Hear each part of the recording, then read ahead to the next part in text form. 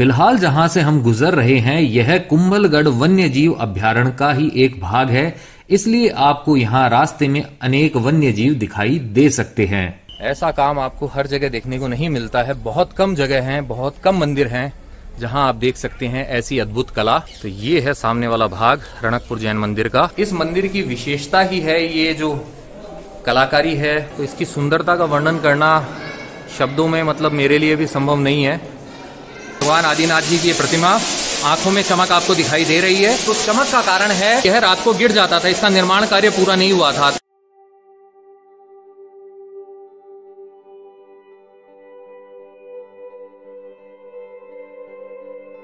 जय हिंद, वंदे मातरम। आप सोच रहे होंगे, आज मैंने आपका वेलकम ऐसे क्यों किया? तो इसकी वजह है कि आज का जो दिन है, ये है बेहद खास। क्योंकि आज जो दिन है, वो है हमारी आज़ादी की।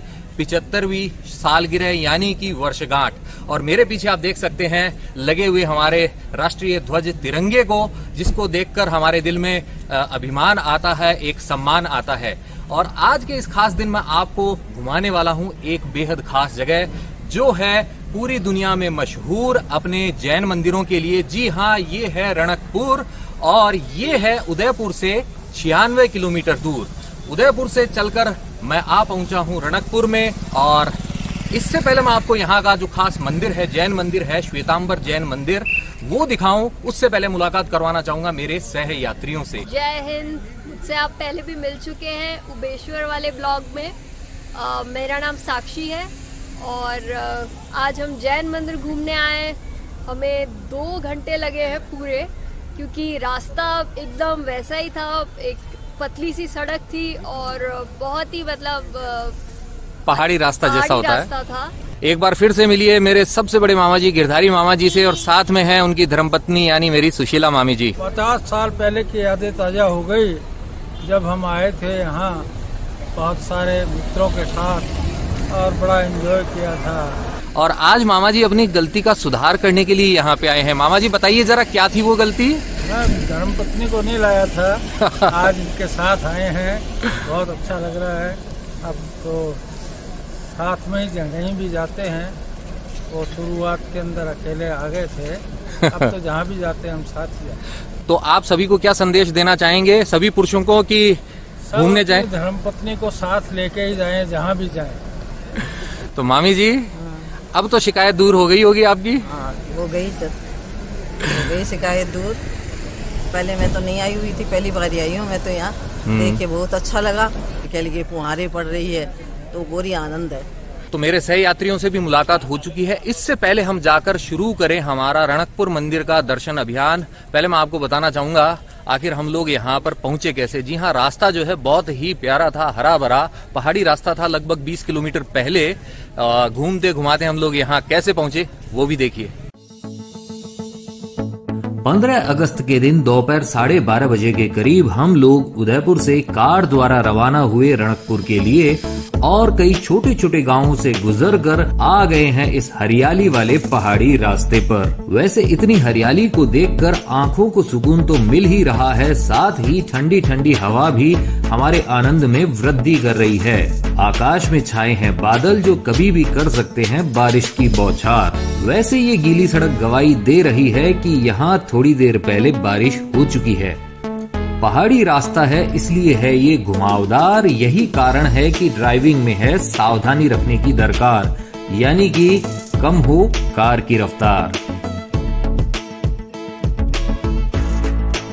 ये देखिए, यहाँ लोग बीच में रुककर मनमोहक प्राकृतिक सुंदरता का अवलोकन कर रहे हैं। वैसे नेचुरल ब्यूटी को देखने के लिए थोड़ा टाइम देना ही चाहिए।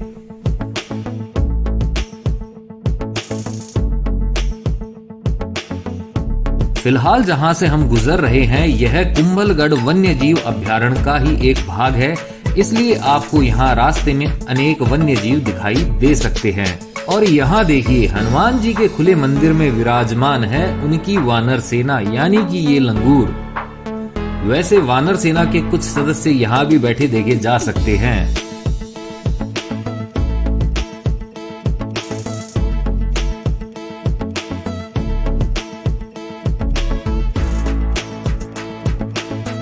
ये जो पैदल यात्री आप देख रहे हैं, ये सब जा रहे हैं रामदेवरा की ओर। राजस्थान के लोक देवता बाबा रामदेव जी के मेले में उनके दर्शन करने के लिए। लीजिए, हरियाली से भरे रास्ते से गुजरकर हम फाइनली पहुँच ही गए हैं हमारे डेस्टिनेशन रणकपुर में। इससे पहले हम लोग अंदर जाएँ, प्रवेश करें, रणकपुर जैन मंदिर के इस क्षेत्र के अंदर। आपको दिखाता हूँ इसके प्रवेश द्वार के बाहर से बहती हुई इस छोटी सी नदी को देखिए, जल की धारा बहते हुए जा रही है। और ये है रणकपुर का प्रवेश द्वार। चलिए करते हैं अंदर प्रवेश। द्वार के दोनों तरफ़ है हाथी और द्वारपाल भी बने हुए हैं। ये देखिए, यहाँ पे है हाथी और इस तरफ़ एक द्वारपाल है और राइट हैंड साइड में भी एक हाथी और द्वारपाल है। और यहाँ द्वार के मध्य में ऊपर आप देख सकते हैं आदिनाथ जी की प्रतिमा को और सेविकाएँ हैं उनके दोनों तरफ़। चलिए करते हैं अंदर प्रवेश। गाड़ी भी पार्क हो चुकी है, अब हम जाते हैं आगे मंदिर में दर्शन करने के लिए। तो उस प्रवेश द्वार से अंदर आते ही यहाँ लेफ़्ट हैंड साइड में ये पार्किंग है, भोजन भवन भी है इस तरफ़ ही। अब सबसे पहले हम देखते हैं यहाँ पर स्थित पार्श्वनाथ जी का जो जैन मंदिर है, वो क्योंकि सबसे पहले हमारे मार्ग में यही आता है, जैसे हम यहाँ आए हैं, इस तरफ़ हमें दिखाई देता है पार्श्वनाथ जी का ये मंदिर। ये देखिए। थोड़ी सी सीढ़ियाँ चढ़नी होगी और आ गए हम यहाँ पर इस कलात्मक प्रवेश द्वार तक। ये देखिए आप। साक्षी और मामी जी बैठे हैं। मामी जी धीरे धीरे सीढ़ियाँ चढ़ रही हैं। मामी जी ने मारवाड़ी में कहा है बूढ़ा आदमी है भाया। मतलब हम लोग बूढ़े हैं तो टाइम लगता है। खैर, एज हो जाती है तो घुटनों में थोड़ा सा दर्द होता है तो मामी जी धीरे धीरे चढ़ रही हैं। ये देखिए, इस प्रवेश द्वार पर यहाँ गणेश जी हैं और यहाँ पे जो जैन धनु के तीर्थंकर हैं, ये देखिए, यहाँ पे आदिनाथ जी और बहुत सारी प्रतिमाएँ हैं ये। इनके बारे में मुझे जानकारी नहीं है कौन कौन सी प्रतिमाएँ हैं, लेकिन आप देख सकते हैं कितनी बेहतरीन कला है।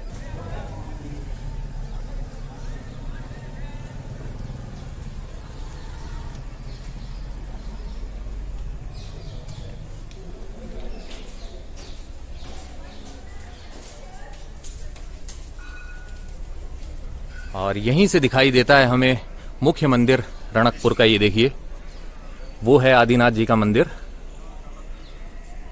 और ये देखिए। जो विदेशी सैलानी हैं, वो भी आए हुए हैं यहाँ, लंगूर की फ़ोटो लेते हुए। ये देखिए, यहाँ मंदिर के अंदर आप देख सकते हैं, दीवारें नहीं हैं, पिलर्स के ऊपर ही ये खड़ा है, ये वाला हिस्सा, और बहुत ही बढ़िया स्तंभ है ये। छत जो है, इसके ऊपर वैसे कोई नक्काशी नहीं है, बहुत ही प्लेन काम है। ये देखिए, शायद प्लास्टर बाद में इसके ऊपर किया गया है, थोड़ा जीर्णोद्धार किया गया है। तो ये है पार्श्वनाथ जी का मंदिर, जहाँ सामने गर्भगृह के अंदर पार्श्वनाथ जी की प्रतिमा विराजमान है। काले पत्थर से निर्मित बहुत ही भव्य प्रतिमा है। यहाँ पे है शांतिनाथ जी की प्रतिमा। और वो जो प्रतिमा है, नारंगी सी, ये है नेमिनाथ जी की। पहले तीर्थंकर आदिनाथ जी, यानी कि ऋषभ देव जी की प्रतिमा।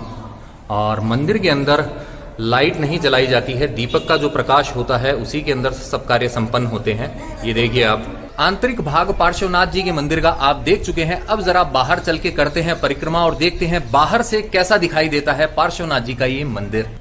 तो चलिए, अब करते हैं इस पार्श्वनाथ जी के मंदिर की परिक्रमा। और देख सकते हैं आप, बाहरी दीवारों पर भी ये कितनी प्यारी प्यारी जो प्रतिमाएँ हैं, उनका अंकन किया गया है। ये देखिए आप। ऐसा काम आपको हर जगह देखने को नहीं मिलता है। बहुत कम जगह हैं, बहुत कम मंदिर हैं। जहाँ आप देख सकते हैं ऐसी अद्भुत कला। ये देखिए।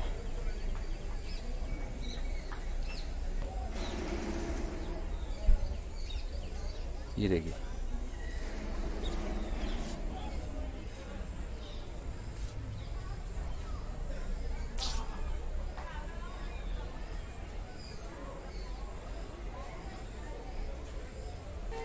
ये देखिए आप।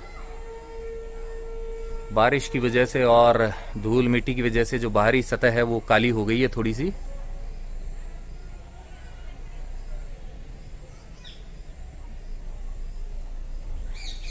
यहाँ भी है, ये देखिए।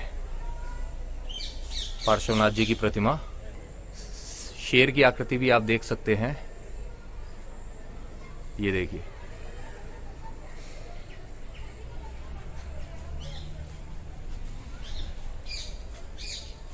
इस नाली से जल बाहर आता है। मंदिर की जब सफ़ाई की जाती है, धोया जाता है जल से तो इसी नाली से जल बाहर आता है।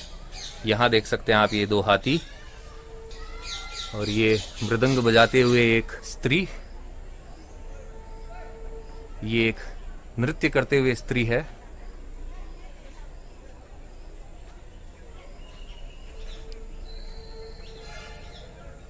ये देखिए, यहाँ भी है प्रतिमा जैन तीर्थंकर की।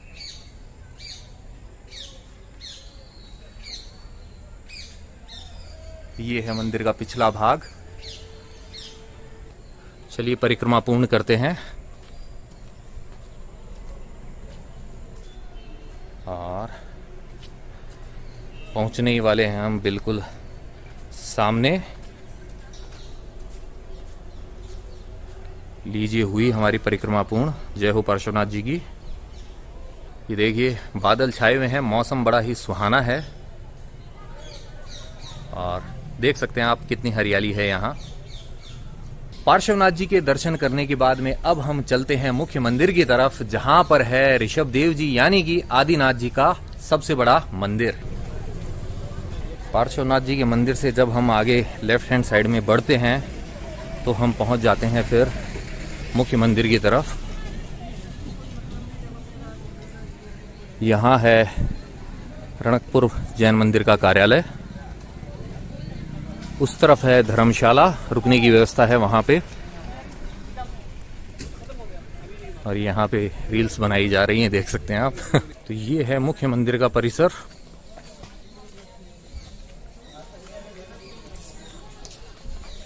तो मुख्य मंदिर परिसर के पास में ही यहाँ पर है टिकट काउंटर। अगर आप मोबाइल फ़ोन से या कैमरा से शूट करना चाहते हैं तो आपको पे करने पड़ेंगे हंड्रेड रुपीज़ वो चार्जेस हैं यहाँ के। उसके बाद में आप अंदर शूट कर सकते हैं। इस गेट से अंदर आने पर हमें यहाँ दिखाई देता है पार्श्वनाथ जी का वो मंदिर, जहाँ पे हम थोड़ी देर पहले थे। और जैसे हम यहाँ घूमते हैं तो नज़र आता है ये मुख्य मंदिर, रणकपुर का। ये देखिए आप। अब मैं आपको बताना चाहूँगा, यह जो रणकपुर का मुख्य मंदिर है, यह कब बना था? जी हाँ यह मंदिर जो है, लगभग 600 साल से भी ज़्यादा पुराना है और इसका निर्माण हुआ था 1433 के अंदर और निर्माण कार्य पूरा हुआ था चौदह छियानवे के अंदर। तो ये है सामने वाला भाग, रणकपुर जैन मंदिर का, आदिनाथ जी के मंदिर का और मामा जी, मामी जी ऊपर पहुँच चुके हैं वहाँ पर। और सीढ़ियाँ चढ़ के मुझे भी वहीं जाना होगा और थोड़ी सी सीढ़ियाँ हमें चढ़नी होगी। तो जैसे हम यहाँ प्रवेश करते हैं, सबसे पहले हमें दिखाई देती है यहाँ छत के ऊपर ही एक विशेष प्रतिमा। ऐसी ही एक प्रतिमा मैंने देखी थी, चित्तौड़गढ़ के किले के अंदर, जो संत रविदास जी की जो समाधि थी, छतरी थी, वहाँ पर देख सकते हैं आप, इसके अंदर पाँच शरीर दिखाई दे रहे हैं जो जुड़े हुए हैं, और एक जो मुख है, वो दिखाई दे रहा है। तो वैसी ही है प्रतिमा यहाँ पे है, और आसपास में आप देख सकते हैं, बहुत ही बारीक काम किया हुआ है। ये जो प्रतिमाएँ हैं, बहुत छोटी छोटी हैं, और इनको बनाना इतना आसान नहीं रहा है। आज जब टेक्नोलॉजी इतनी विकसित हो चुकी है तो भी इतना आसान नहीं तो सोचिए उस समय में कैसे किया गया होगा। और यहाँ आप देख सकते हैं, ये जो मंदिर के स्तंभ हैं, इनके ऊपर जो अद्भुत कलाकारी है, इस मंदिर की विशेषता ही है ये जो कलाकारी है, ये जो नक्काशी है, ये देखिए, प्रवेश द्वार जो है, इसके ऊपर कैसा काम किया गया है।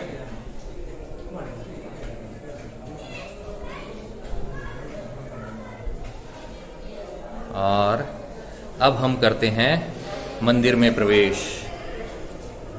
ये देखिए। ये देखिए, एक खास बात और है कि मंदिर में प्रवेश करते हैं तो सर ढक के ही किया जाता है और मामी जी ने सर ढका हुआ ही है। तो महिलाओं के लिए ये खास ध्यान देने वाली बात है कि आप जब यहाँ प्रवेश करते हैं तो सर को ढक के ही आप अंदर प्रवेश करेंगे या तो आप अपना दुपट्टा लेके आइए, अदरवाइज़ आपको यहाँ पे भी मिल जाएगा। वहाँ से सीढ़ियाँ चढ़ के हम आ गए हैं ऊपर और इस तरफ़ हमें दिखाई देता है ये हाथी राजा। ये देखिए आप, मंदिर के अंदर कितने स्तंभ हैं, अभी मैं आपको बताऊँगा, लेकिन आप पहले देखिए जरा कैसे इन स्तंभों के ऊपर टिका हुआ है ये मंदिर, अद्भुत मंदिर। ये देखिए आप छत। देख रहे हैं आप? और ये हैं इसके अलंकृत स्तंभ। शिल्प कला का अद्भुत नमूना है ये। ये देखिए। तो इसकी सुंदरता का वर्णन करना शब्दों में मतलब मेरे लिए भी संभव नहीं है। बस मैं एक झलक दिखला सकता हूँ आपको इसकी। असली आनंद तो आपको यहाँ आकर देखने में ही प्राप्त होगा। वहाँ सामने है आदिनाथ जी की भव्य प्रतिमा। और वहाँ अंदर जाके शूट करना अलाउड नहीं है तो दूर से ही दर्शन जितने हो सकते हैं आप कीजिए। वैसे तो सामान्य तौर पर मैं जिस जगह जाता हूँ वहाँ की जानकारी मैं खुद आपको देता हूँ लेकिन यहाँ पर मुझे मिल गया है एक छोटा सा नन्ना सा दोस्त तो मैंने सोचा क्यों ना आज जो जानकारी दी जाए इसके थ्रू ही दी जाए। ठीक है? सबसे पहले आपकी मुलाकात करवाता हूँ मेरे इस नन्हे दोस्त से। तो ये है मेरा नन्ना दोस्त जिससे मेरी हुई है मुलाकात यहाँ रणकपुर जैन मंदिर के अंदर। तो बेटा सबसे पहले आप अपना नाम बताइए। लक्षराज। लक्ष्यराज तो सबसे पहले ये बताइए ये जो मंदिर है रणकपुर का यह कितने साल पुराना है? छह सौ साल। और इसका निर्माण किसने करवाया था? धरनासा सेठ ने जो कि कुंभलगढ़ और चित्तौड़गढ़ के राजा महाराणा कुंभा के मंत्री थे। और ये जो आप देख रहे मूर्ति दीपा मिस्त्रियों का नाम था मंदिर का आर्किटेक्ट थे। इन्होंने मंदिर का नक्शा बनाया था पूरा। और ये आप जो मंदिर में सारे खंभे देख रहे हो पूरे चौदह सौ चौवालीस खंभे one thousand four hundred forty four चारों तरफ़ कोई ना कोई भगवान के आपको दर्शन होंगे, कोई पिलर बीच में नहीं आएगा।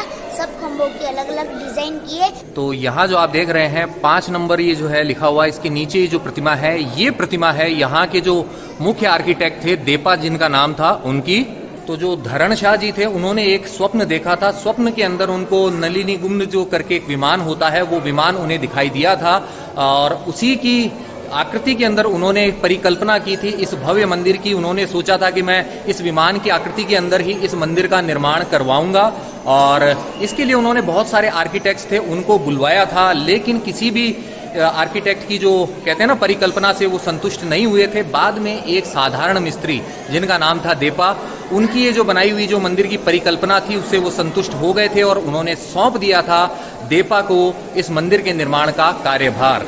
तो यहाँ जो आप देख रहे हैं, छत के ऊपर यह जो अलंकरण किया गया है, यह कहलाता है कल्प वृक्ष और इसके अंदर 108 ओम जो है, वो बने हुए हैं और 16 चंद्रमा है इसके अंदर। तो बहुत ही बारीक काम है। ये देख सकते हैं आप। सुंदर डिज़ाइन है मंदिर की सबसे। आप जाते समय भगवान की तरफ़ देख के इधर खड़े होकर जो भी इच्छा, मनोकामना मांगोगे, वो इच्छा आपकी पूरी हो जाएगी। आप स्टैचू देख रहे हो धन्नासा सीट कोरवाल की है। आज से 600 साल पहले 15 करोड़ रुपए खर्च किए थे मंदिर को। बनाने के लिए अपना कोई नाम और बोर्ड नहीं लगाया। अगर कोई मंदिर स्कूल बनाता है, अपना पहले बोर्ड लगाता है और नाम भी लगाता है कि इतना बड़ा मंदिर मैंने बनाया, उसमें मेरा कुछ नाम होना चाहिए। पर ऐसा उन्होंने को है ना, कभी नहीं हुआ कि मैं नाम और बोर्ड लगाऊँ। छोटी सी स्टैचू लगाई ताकि इधर से भगवान के उनको दर्शन हो। ये देखिए बरखा बाहर आ चुकी है और जो मौसम है वो और भी सुहावना हो चुका है। और मैं उसी स्थान पे खड़ा हूँ जहाँ पर है धरण शाह जी की प्रतिमा और आप देख सकते हैं यहाँ ये जो पिलर है इनके बीच में ये जो स्थान है यहाँ से दर्शन होते हैं आदिनाथ जी की मुख्य प्रतिमा के। और ये जो आप पेड़ देख रहे हो रायन का पेड़ है। ये है रायन का वृक्ष।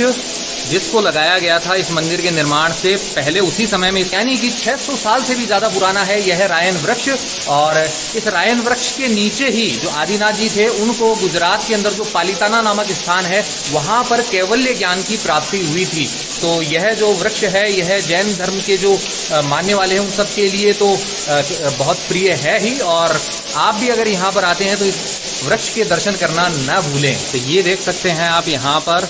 ये देखिए आप, गणेश जी की आकृति बनी हुई है और ये जो पेड़ जो है, ऐसे इस तरीके से मध्य में से खोखला है। आमतौर पर ऐसे जो वृक्ष खोखला हो जाता है, वो सूख जाता है और यह वृक्ष तो कितने साल पुराना, सोचिए। और इसके अंदर ये जो गणेश जी बने हुए हैं, जो प्रकृति माता ने जो गणेश जी की ये जो प्रतिमा बना दी है अपने अंदर यह बहुत ही बढ़िया है। इस रायन वृक्ष के पास में ही आप यहाँ छतरी के नीचे देख सकते हैं। आदिनाथ जी भगवान की ये जो चरण पादुकाएँ हैं, ये वो हैं। फ़िलहाल बारिश हो रही है तो वहाँ हम नहीं जा सकते। आप देख सकते हैं, इतनी देर में पानी आ चुका है यहाँ पर। वो है रायन वृक्ष और इसके पास में ही हम आ गए हैं मंदिर के इस भाग के अंदर। तो ये जो है पाली थाना के अंदर जो जैन मंदिर है, जिसके अंदर लगभग 300 मंदिर हैं। तीन सौ से भी ज़्यादा है 300 से भी ज़्यादा मंदिर है। यह है उसका नक्शा है, एक तरीके से मान लीजिए आप, इस तरीके से है वहाँ पर। तो जब पाली थाना में जाना होगा, तब हम दर्शन करेंगे। फ़िलहाल आप इसे देखिए यहाँ पर। और अब चलते हैं आगे।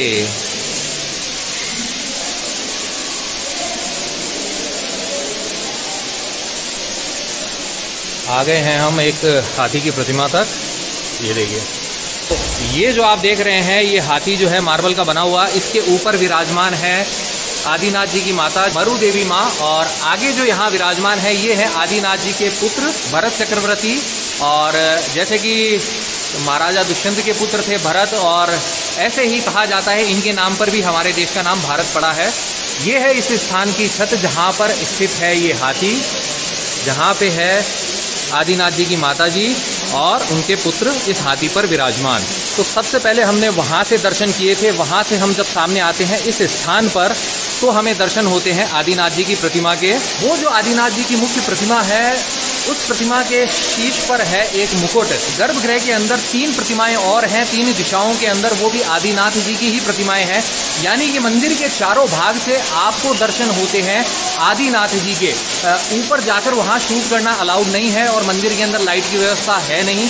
व्यवस्था इसलिए नहीं है क्योंकि लाइट का प्रयोग नहीं किया जाता है। तो दीपक के प्रकाश के अंदर दूर से मैं आपको क्लैरिटी के साथ में दर्शन नहीं करा सकता हूँ।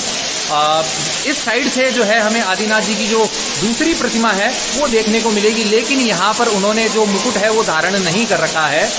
और खास बात यह है कि यहाँ पे जो आदिनाथ जी की जो प्रतिमा आपको दिखाई देगी उस प्रतिमा की आँखों के अंदर आपको चमक दिखाई देगी और उस चमक का कारण है कि जो मोती हुआ करते थे, सच्चे मोती, उनको पीस के, बारीक पीस के चूरा बना के आँखों के अंदर वहाँ पे लगाया गया है। तो उसी वजह से ये जो प्रतिमाएँ हैं, जो चारों प्रतिमाएँ, इनकी आँखें चमकती है। तो देख सकते हैं आप यहाँ भगवान आदिनाथ जी की ये प्रतिमा, आँखों में चमक आपको दिखाई दे रही है। ऐसी ही तीन अन्य प्रतिमाएँ इस गर्भगृह के अंदर स्थापित हैं। अन्य तीन दिशाओं में इस तरीके से चार दिशाओं में चार प्रतिमाएँ स्थापित हैं। छत के ऊपर की कलाकारी आप देख सकते हैं। और यहाँ ये जो रस्सी बंधी हुई है मतलब हमें प्रवेश जो करना है, हमें वहाँ आगे से ही करना है। बाकी ये रस्सी लगाई गई है चारों तरफ़। और इस सीमा से आगे हम कोई भी रिकॉर्डिंग या फ़ोटो नहीं खींच सकते हैं। इतनी दूर से ही करना होगा। यहाँ जो आप देख रहे हैं, यह मंदिर के अंदर प्रवेश करने के अन्य रास्तों में से एक है जो तीन रास्ते हैं, लेकिन इसे बंद किया गया है। और ये आप जो खिड़की वाला देख रहे हो, अधूरा कहते। हैं इतना बड़ा मंदिर बनाया, अपना कहीं नाम और बोर्ड नहीं लगाया। छोटा सा स्टेचू लगाई ताकि आपकी स्टेचू तो अभी मैंने आपको बता दिया है। अब उन्हों के राजा महाराणा कुंभा को घमंड आ गया कि मेरे धरना सा इतना बड़ा मंदिर बनाया। तो उस मंदिर में मेरा कुछ नाम होना चाहिए। नाम के लिए बनाया जो जिनको बनाते थे, रात को ऑटोमेटिक गिर जाता था। तो यह रात को गिर जाता था, इसका निर्माण कार्य पूरा नहीं हुआ था। तो इसके अंदर ऐसे ये जो झरोका है, ये बना के रख छोड़ा गया था। और कारण है, वो आपको मेरा दोस्त बता ही चुका है।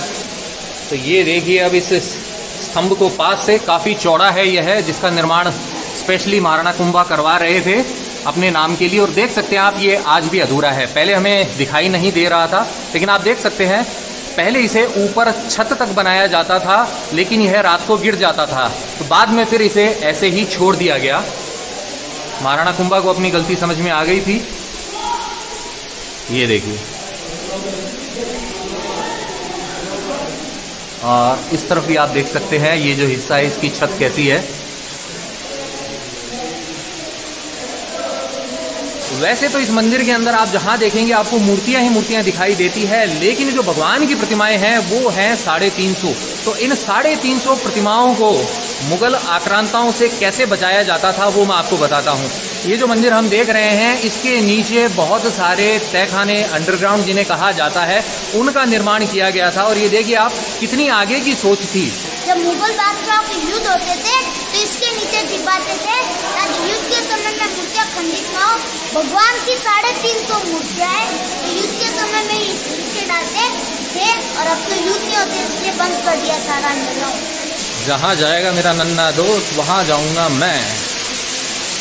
इसके अंदर पारसनाथ भगवान की स्टैचू है और कारीगर और मजदूर पंद्रह सौ कारीगर सत्ताईस सौ मजदूरों ने पूरा बनाया था और जो बनाया ये सारा पत्थर बच गया तो दो बार मंदिर बना दिए पारसनाथ भगवान का और भगवान का ये देखिए आप, कैसे हो रही है यहाँ बरखा बहार? ये हमेशा देखने को नहीं मिलता है तो ये दृश्य भी आप देखिए।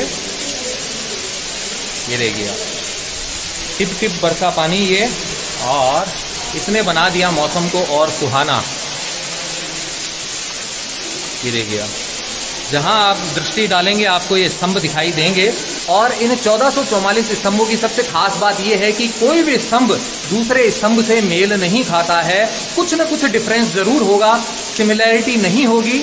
लेकिन इस मंदिर की खास बात है, इसकी सिमेट्री जी हाँ वास्तु शास्त्र के नियमों को ध्यान में रखते हुए इस मंदिर का निर्माण किया गया था और इन स्तंभों को ऐसे बनाया गया था कि चार दिशाओं में जो चार प्रवेश द्वार से जब आप अंदर आते हैं, किसी भी तरफ़ से आप आइए, आपको प्रभु के दर्शन करने में, आदिनाथ जी के दर्शन करने में कोई समस्या नहीं होगी।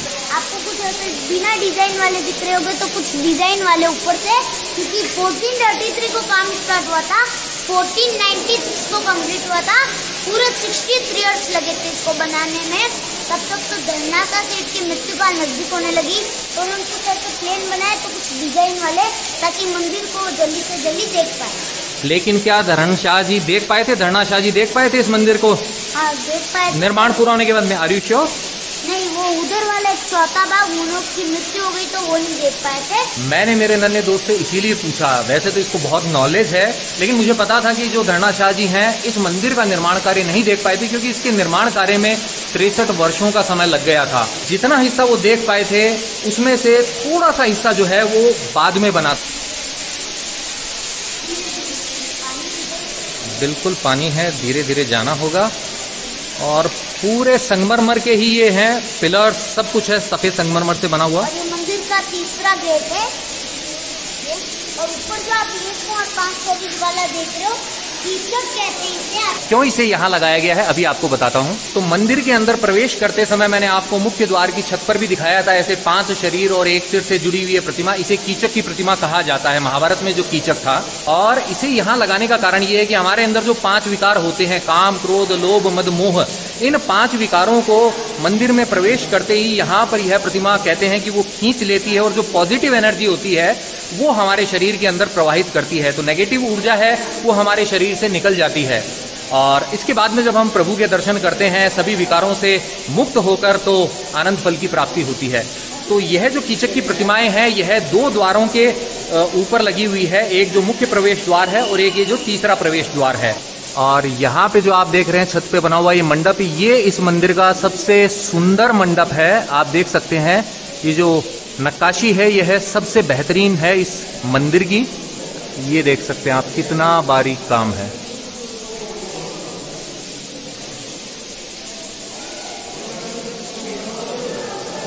और इस तीसरे द्वार के यहाँ पर भी है एक हाथी, जैसा कि वो मरु देवी माता को आपने देखा था वहाँ पर। सेम वैसे ही यहाँ पर है मरु देवी की एक प्रतिमा। मंदिर में आपको कोई लाइट देखने को नहीं मिलेगी। लाइट लगाते छोटे छोटे जीव होते हैं, उनों की हत्या होती, हिंसा होती है, इसलिए मंदिर में कई लाइट भी नहीं लगाते। जो लाइट होती है, उससे जो कीड़े मकोड़े होते हैं, छोटे जो जीव होते हैं, यह आकर्षित होते हैं और यह इसके पास में आते हैं। तो लाइट के पास में कुछ समय बिताने के बाद में ये नीचे गिर भी जाते हैं और हम जब चलते हैं तो हमारे पैरों के नीचे दबकर इनकी मृत्यु हो सकती है। तो किसी भी प्रकार की जीव, हिंसा, जो जैन धर्म के अंदर जो है, उसे मना किया गया है, ऐसा नहीं होना चाहिए तो उसी बात का ध्यान में रखते हुए यहाँ पर कोई भी जो आर्टिफिशियल लाइट का जो यूज़ है, वो नहीं किया जाता है।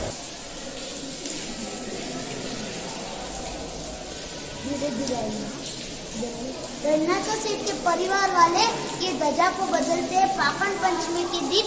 जैसे तीन पीढ़ी हमारे साथ में चल रही है।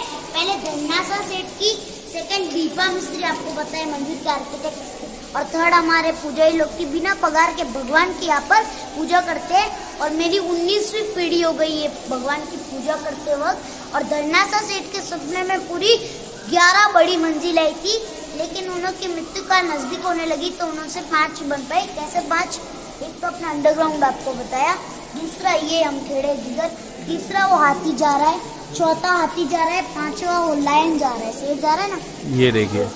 और छह उन्होंने छोटे छोटे बना दिए वो गोखले आपको दिख रहे हैं ना हम्म, हम्म। और अंदर है वो छह है पूरे तो छह और पाँच मिला के ग्यारह तो इस तरह से उनका सपना हो गया पूरा तो जैसा कि मेरे नन्हे दोस्त ने बताया कि धरना शाह जी की जो है वो मृत्यु का समय उनको ऐसे नज़दीक आता हुआ दिख रहा था क्योंकि आयु बहुत ज़्यादा हो गई थी। तो परिकल्पना जो थी उनकी वो थी 11 मंजिल के इस मंदिर के निर्माण की। तो किस तरीके से बाद में शॉर्ट के अंदर उनकी इस परिकल्पना को पूरा किया गया था, मेरे नन्हे दोस्त ने आपको अभी बताया था। जो अंडरग्राउंड है उसको लेकर और मंदिर का जो शिखर है, वहाँ तक का जो यह भाग है, यह 11 मंजिला माना जाता है।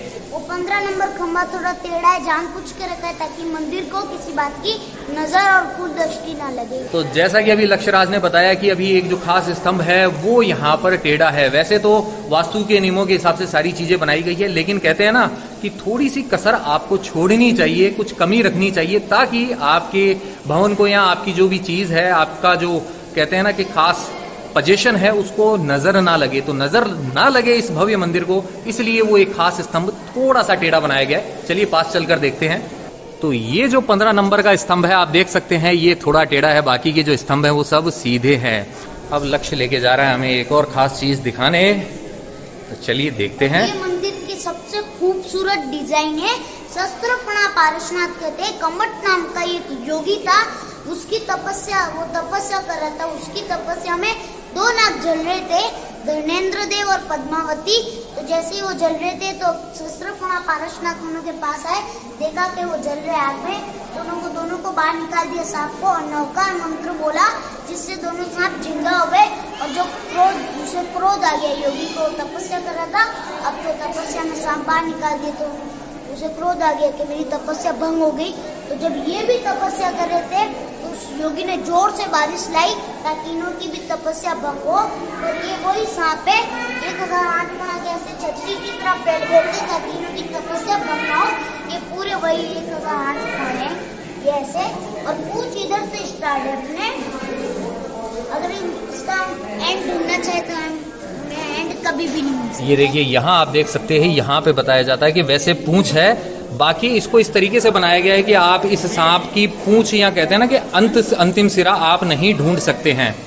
यह इतनी बारीकी से बनाई हुई ये जो है कलाकृति और यह कहलाती है श्री सहस्त्रफणा पार्श्वनाथ क्योंकि यहाँ पे भगवान पार्श्वनाथ जी की प्रतिमा है और इनके सिर के ऊपर है सहस्त्रफण वाला नाग। ये देखिए आप।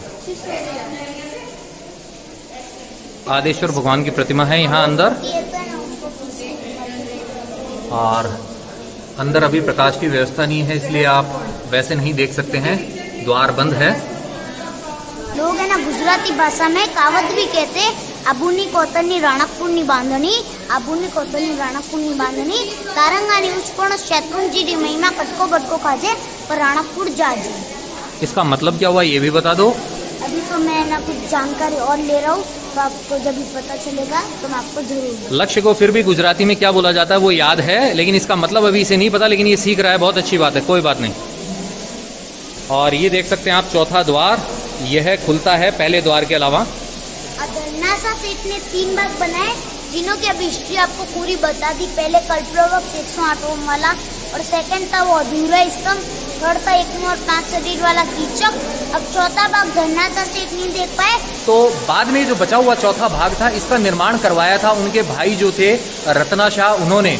और ये जो चौथा द्वार है, यह खुलता है, यह मैं आपको बता चुका हूँ।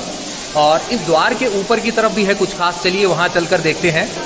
आ गए हैं हम चौथे भाग के द्वार के ऊपर। तो यहाँ पर इस चौथे भाग को पूर्ण करवाने वाले जो सेठ रत्ना शाह थे, धरना शाह के भाई उनकी ये प्रतिमा है और ठीक सामने ही है आदिनाथ जी की प्रतिमा, जिनके ये दर्शन कर रहे हैं। तो इस तरीके से इस प्रतिमा को यहाँ लगाया गया और यहाँ पे आप देख सकते हैं चरण चिन्ह जो है उनके। वहाँ पे है आदिनाथ जी की एक प्रतिमा। चार प्रतिमाओं में से जो एक प्रतिमा है, वो वहाँ स्थापित है। और यहाँ पर है ये एक नंदीश्वर दीप। ये देख सकते हैं आप। इस साइड में आप देखेंगे तो आपको दिखाई देगा जम्बू द्वीप ये है जम्बू द्वीप जो चौथी प्रतिमा है, वो वहाँ विराजमान है। यहाँ पे रत्ना शाह वाली जो प्रतिमा है, वो है जो आपने अभी देखी थी। और इससे जब हम यहाँ देखते हैं तो ठीक पीछे हमें यहाँ पर दिखाई दे रही है कुछ कलाकृतियाँ। ये जो है, इस चौथे वाले हिस्से के अंदर जो भगवान की प्रतिमा थी, उसके पीछे वाली दीवार का हिस्सा है जो खंडित हो गया था तो इसे यहाँ पर स्थापित कर दिया गया है। और नया भाग जो है वो लगा दिया गया है। क्योंकि जो खंडित प्रतिमा होती है, उसकी पूजा नहीं होती है और यह जो है, आदिनाथ जी की प्रतिमा के पीछे वाला भाग था दीवार का, इसलिए इसे हटा दिया गया क्योंकि प्रतिमा जो थी, वह खंडित नहीं हुई थी, यह पीछे वाला भाग ही खंडित हुआ था। तो इसे बदल दिया गया है नए भाग से और इसे यहाँ इस छतरी के नीचे रख दिया गया है ताकि हम इसे यहाँ देख सकें। काफ़ी कम उम्र में इसने काफ़ी कुछ ज्ञान ले लिया है। अच्छी बात है मुझे देख के बहुत अच्छा लगा।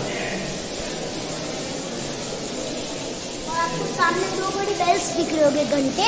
नर और नारी है मेल या फीमेल है। जब ये इनकी आवाज़ तीन किलोमीटर दूर जाती है। ओम का स्वर पीछे से निकलता है। शांति रहती है जहाँ तक ये बजते एक का ढाई सौ किलो है, दोनों का मिला के पाँच सौ। तो अब मैं आपको दिखाता हूँ वो दो घंटे जिनके बारे में लक्ष्य ने हमें बताया है। नर और नारी जिन्हें कहा जाता है। यहाँ पर है वो दो घंटे लगे हुए नर और नारी। और वहाँ शूट करना अलाउड नहीं है, इसलिए हम दूर से ही दर्शन कर सकते हैं। सामने आपको चांदी का बरक दिख रहा होगा ना? वो वो अपने भैरव है अधिष्ठक भैरव है, मंदिर के रक्षक है। पूरे आप राजस्थान में जाओगे, इधर ही आपको जोड़े के साथ मिलेगी, इधर भी नहीं है। और आप नाकोड़ा गए होगे, उधर आधे। शरीर के साथ है। वहाँ आप देख सकते हैं सामने भैरव जी की प्रतिमा, पूर्ण प्रतिमा जो बताई थी यहाँ पर अभी लक्ष्य ने हमें। और खास बात यह है कि ये जो प्रतिमा है, ये अपनी जो अर्धांगिनी है, उनके साथ, जोड़े के साथ यहाँ विराजमान है। सामने जलता हुआ दीपक आप देख सकते हैं। और इस तरफ़ आप देख सकते हैं यहाँ आदिनाथ जी की भव्य प्रतिमा। दीपकों का जो ये प्रकाश है, उसमें कैसे आलोकित हो रही है। और आप देख सकते हैं, यहाँ जो चारों प्रतिमाएँ हैं, उनकी आँखों की जो खास चमक है, जो आभा है, मोतियों के कारण वो यहाँ दूर से हमें दिखाई दे रही है। ये देखिए। सब दर्शन कर रहे हैं यहाँ बैठे हुए। मुख्य प्रतिमा के सामने का जो मंडप है, वो आप देख रहे हैं। और इस मंदिर के अंदर ऐसे चार बड़े मंडप हैं और 20 छोटे छोटे मंडप हैं। बड़े वाले ये जो मंडप है, ये कहलाते हैं मेघ मंडप और ये जो है छोटे मंडप, ये कहलाते हैं रंग मंडप। तो इस तरीके से 20 छोटे मंडप हैं, चार बड़े मंडप है, यानी कि कुल संख्या हो गई 24 और जैन धर्म के जो तीर्थंकर हैं, उनकी संख्या भी है 24 तो 24 तीर्थंकरों के प्रतीक ही मान लीजिए आप, ये है 24 मंडप।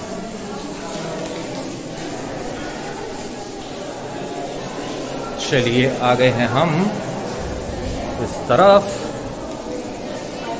इसके नीचे से अगर हम जाएँगे तो हमें मिल और यहाँ इस हिस्से में आप देख सकते हैं कालिया नाग का दमन। जी हाँ भगवान कृष्ण ने जो कालिया नाग का दमन किया था, उसका यहाँ पे चित्रण किया गया है। मध्य के अंदर है भगवान कृष्ण और कालिया नाग है और साथ में है कालिया नाग की पत्नियाँ अनुनय विनय करती हुई।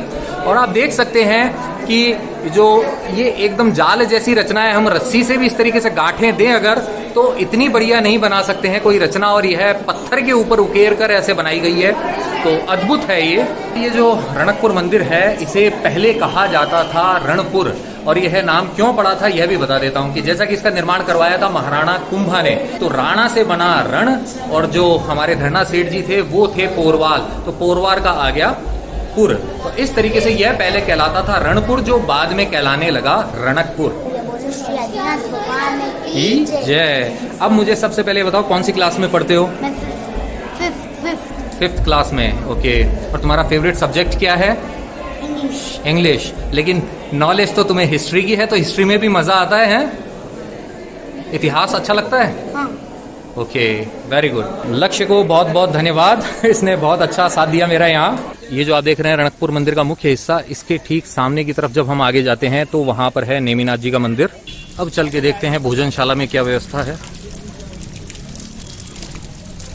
बारिश से पानी पानी हो गया है, और बारिश की वजह से ही हमें यहाँ से जल्दी निकलना होगा, क्योंकि रास्ता जो है वो पहाड़ों वाला है और सिंगल रोड मिलेगी काफ़ी हद तक हमें। सैंतालीस किलोमीटर तक का जो रास्ता है वो सिंगल रोड वाला है। उसके बाद में हम हाईवे पर पहुँचेंगे। लेकिन अंधेरा हो जाएगा, इसलिए हमें जल्दी निकलना होगा। तो ये है श्रीमती कंकूबाई नथमल जी रांका अल्पाहार गृह। ये देखिए। तो वो है अल्पाहार गृह और ये है यहाँ पे भोजनशाला। ये देखिए। यहाँ पे है भोजन की व्यवस्था। इतना स्पेस है। हाँ जी क्या चार्जेस हैं यहाँ पे? शाम का सिक्सटी रुपीज़ है। ओके और मॉर्निंग में क्या रहता है? नाश्ता? ओके जैसा कि भाई साहब ने बताया कि जो शाम का भोजन होता है क्योंकि जैन धर्म के अंदर जो होता है संध्या काल से पहले ही भोजन कर लिया जाता है तो वो भोजन आप यहाँ पे कर सकते हैं। सिक्सटी रुपीज़ जो है आपको यहाँ पे करने होंगे उसके लिए और बहुत बढ़िया भोजन आपको यहाँ पे मिलेगा। तो वहाँ उस प्रवेश द्वार से हम बाहर आए हैं और इस तरफ़ जैसे ही हम आगे बढ़ते हैं तो आगे जाके है सूर्य नारायण जी का मंदिर, जो इस मंदिर परिसर के बिल्कुल पास में ही है। और यहाँ आप देख सकते हैं बरसाती पानी की ये बहती हुई धारा कैसे प्रबल वेग के साथ बह रही है। ये देखिए। दीवार भी जो है, वो भी हरी हो गई है, काई जम चुकी है और फोटोग्राफी के लिए ऐसी दीवार बहुत ही प्यारी होती है। सूर्य नारायण जी के मंदिर तक जाते जाते आपको मैं ये भी बता देता हूँ कि आप रणकपुर कैसे आ सकते हैं। देखिए, वैसे तो जिस शहर से आप तीनों मार्गों द्वारा आसानी से यहाँ पहुँच सकते हैं, वो है उदयपुर। सड़क मार्ग हो, वायु मार्ग हो या फिर हो रेल मार्ग, तीनों से ही जुड़ा हुआ है उदयपुर। अगर आपके शहर से, आपके गाँव से, आपके स्थान से डायरेक्ट ट्रेन नहीं है या बस नहीं है तो आप देख सकते हैं दिल्ली तक की कनेक्टिविटी और वहाँ से इजीली आप आ सकते हैं उदयपुर। सेम वे के अंदर मुंबई और जो दिल्ली है, वहाँ से फ्रीक्वेंट फ्लाइट्स हैं यहाँ उदयपुर के लिए और वहाँ से आप टैक्सी या जो सरकारी बस प्राइवेट बस उसके द्वारा इजीली आप आ सकते हैं यहाँ पर रणकपुर में। छियानवे किलोमीटर का आपका ये जो रास्ता है, ये आपको तय करना होगा। आधे रास्ते आपको मिलेगा ये जो आबू रोड वाला हाईवे है ये, और उसके बाद में फिर बाकी के सैतालीस किलोमीटर आपको आना होगा, ये जो सिंगल लेन टाइप की जो सड़क होती है इससे। उसका भी जो आधा रास्ता है, वो गाँवों से होकर गुजरता है और बाकी का जो आधा रास्ता है, लगभग लास्ट वाली जो 20 किलोमीटर है, यह है पहाड़ी क्षेत्र जो है, उससे होकर गुजरता है और इतना बढ़िया दृश्य आपको दिखाई देगा। वैसे तो मैंने ब्लॉग की शुरुआत में ही आपको दिखाया था, रास्ते की कुछ झलक आपको दिखाई थी। जो फालना का रेलवे स्टेशन है, वो भी इस स्थान से ज़्यादा दूर नहीं है तो शायद अगर मैं गलत नहीं हूँ तो जो 35 किलोमीटर की जो दूरी है, यह है फालना स्टेशन से है, इस स्थान की। तो अगर आप ट्रेन से आना चाहते हैं तो आप वो भी चेक कर सकते हैं।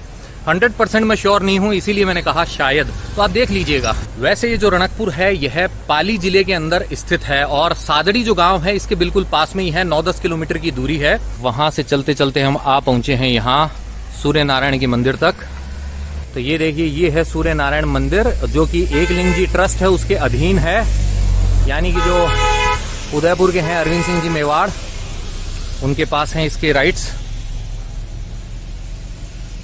चलिए चलते हैं मामा श्री के साथ में, और ये देखिए, ये रहा सूर्य नारायण जी का मंदिर। जो रणकपुर का जैन मंदिर है, उससे भी यहाँ पर आने का एक आंतरिक रास्ता है, लेकिन हम लोग जो है बाहर चलते हुए आए, क्योंकि हमें ये जो बरसाती नदी का पानी बह रहा था, इसे देखते हुए यहाँ पर आना था। तो इसलिए हम दोनों मामा भांजे बाहर से आए हैं। आप अंदर से भी आ सकते हैं। और बाहरी जो दीवारें हैं, ये इनके ऊपर काली काली काई जम चुकी है। चलिए।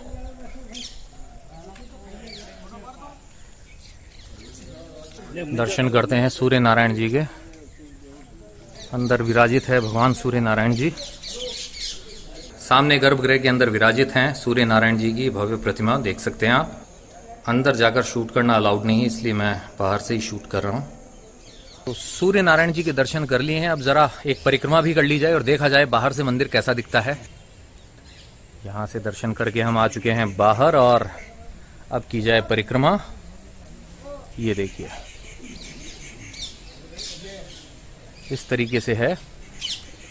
एक ये गुंबद हो गया, एक ये हो गया मंडप वाला हिस्सा और ये जो है गर्भगृह का ऊपर का शिखर। सूर्य देव जो है वो सामान्य तौर पर होते हैं, सात अश्वों के रथ पर सवार, उस पर आरूढ़ होकर वो करते हैं विचरण इस ब्रह्मांड के अंदर। लेकिन खास बात है, इस मंदिर की यहाँ पर जो सूर्य देव है, उनका ये जो रथ है, यह खींच रहे हैं एक हज़ार आठ अश्व। जी हाँ मंदिर रूपी ये जो रथ है सूर्य देव का जिसमें विराजित है वो, इसे खींच रहे हैं एक हज़ार आठ अश्व। आपको दिखाता हूँ। ये देखिए आप, यहाँ पर हैं ये अश्व बने हुए और इनकी संख्या जो है, एक हज़ार आठ है। देख सकते हैं आप, चारों तरफ़ ये नीचे वाली जो पंक्ति है, ये अश्वों की है, ये वाली। और ऊपर जो है, देवी देवताओं की प्रतिमाएँ हैं। ये देखिए आप। इस तरीके से ये बनवाया गया था। प्राचीन सूर्य नारायण जी का मंदिर। यहाँ पिछले हिस्से से ये बरसाती नदी को आप बहते हुए देख सकते हैं। और ये आ गया मंदिर का पिछला भाग। ये देखिए। और इस तरफ़ भी आप देख सकते हैं ये अशुओं की पंक्तियाँ। लीजिए, करते हैं परिक्रमा को पूर्ण। ये देखिए, इसी के साथ हुई परिक्रमा पूर्ण। इसी के साथ में रणकपुर का ये ब्लॉग होता है यहीं पे समाप्त। जो कुछ मैं आपको दिखा पाया हूँ, वो आशा करता हूँ आप उससे खुश होंगे। जो कमी रह गई उसे माइंड मत कीजिएगा। दोबारा मेरा जब भी अगर यहाँ पे आना हुआ तो आपको जो बाकी बचा हुआ है, वह स्थान भी दिखाऊँगा। अगर आपको ब्लॉग पसंद आया है तो आप जानते हैं आपको करना क्या है। आपको इसे लाइक करना है शेयर करना अपने नियर एंड डियर वंस के साथ में। साथ ही कमेंट करके पहुँचाने हैं आपके विचार मुझे तक। इस ब्लॉग के थ्रू जो पहली बार चैनल पे आए हैं, उनसे यही है कहना कि जो सब्सक्राइब बटन है, इसे दबा दे और साथ ही प्रेस कर दे बेल आइकन को और चुन ले ऑल वाले ऑप्शन को। इसका फ़ायदा ये होगा, भविष्य में जो भी ब्लॉग्स आएँगे, उनके नोटिफिकेशन आप तक अपने आप आएँगे। आपको ढूंढना नहीं पड़ेगा। अगर आप मेरे साथ कनेक्ट होना चाहते हैं इंस्टाग्राम पर तो ये जो आईडी डिस्प्ले हो रही है, इसे सर्च कीजिए और कनेक्ट हो जाइए मेरे साथ इंस्टाग्राम पर। जाते जाते आपसे बस इतना ही है कहना कि यत्र तत्र सर्वत्र, घूमते रहिए, घुमाते रहिए लाइफ में हमेशा मुस्कुराते रहिए।